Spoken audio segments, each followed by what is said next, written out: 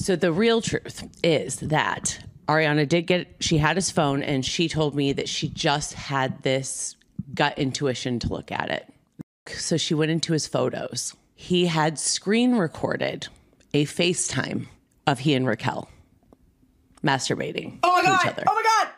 Oh my god! She then called Raquel, and Raquel and Scheana were together at some bar after Watch What Happens Live, and she's like walking around all Raquel like, and Scheana's like, "Who are you on the phone with? What's going on?"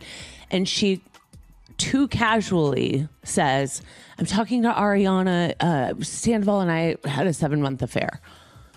You're telling this to Ariana's best friend. So Scheana snatched her phone, she threw it in the gutter.